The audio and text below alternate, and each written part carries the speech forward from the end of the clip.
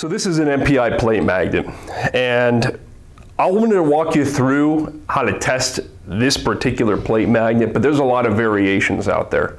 Uh, variations could include the way that it's installed in your production process. It could include a quick clean stripper on it. It could include another quick clean mechanism on it. It could include a self-cleaning system on it. It could be a single step. This one happens to be a double step, but there's also designs that have no steps. Uh, so there's a lot of variations, and so we are here to help if you have any questions about how to test these plate magnets, but for simplicity and because uh, we do not have a uh, production facility here on site, uh, we're going to show you on a table disconnected from a chute a plate magnet and how to test it. As always with any separator, what you want to do is shut off the production flow and then you want to remove the separator or move it out of the production area and clean all the ferrous metal off of it. Always use a non-ferrous scraper in order to do that. Um, we do offer plastic strippers for our plate magnets uh, to clean them if you do have a manual clean design. Once you have the magnet clean, if there's a lockout tagout procedure that you have to follow, maybe it's a self-clean design, make sure you follow that, then you're ready to test your separator.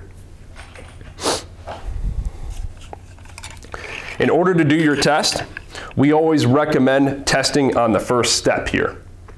We're going to be using a half inch test ball. There are other test pieces that can be used here as well as gradient testing, but for simplicity and consistency, we're just going to use the half inch test ball. And we're going to put it here on the first step because this is where most of the magnet material is. Between here, this is going to be a weaker step back here and uh, not as much tramp metal is going to be captured back here as there will be up here. We're going to test in three different areas across the face of this plate magnet and it's not going so it's not going to be the exact same spot every single time. We'll take our test ball and attach it and zero out our scale. And then we'll pull the scale. We'll record our value and then we'll repeat the test. Notice the grip that I have. I've got a nice firm grip on the plastic. I'm not using the nylon here.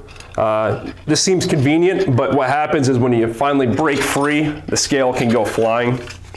I'm also pulling very slowly and I'm pulling at a 90 degree angle to get a very consistent value from my tests. And so I'll do my third test over here, zero out my scale. Also mention I made sure that I'm on max for my scale, and I made sure that my units were correct, which in this case are pounds. You can also test in ounces and in kilograms if that's what your preference is. Obviously consistency is key here on testing it over and over again. On the back side of this, I'm also going to typically look at the etched serial code on it and check the serial number against the factory certificate so I have a good baseline value of what value this magnet had when it shipped from the factory so I can tell if the performance has increased or decreased since it was installed. With plate magnets, you can see an increase if you're running an abrasive product what happens is the product will run over this step or both steps and you'll start to see a wear generally in the middle but it depends how the product is coming down and you'll start seeing a lip. Eventually these steps can be completely worn away. And that's where a, uh, if you are running an abrasive application, a quick clean design or our abrasion resistant design are good options. Uh, they both have replaceable faces that will allow you to protect your investment in the magnetic separator itself and only have to replace the wear surface.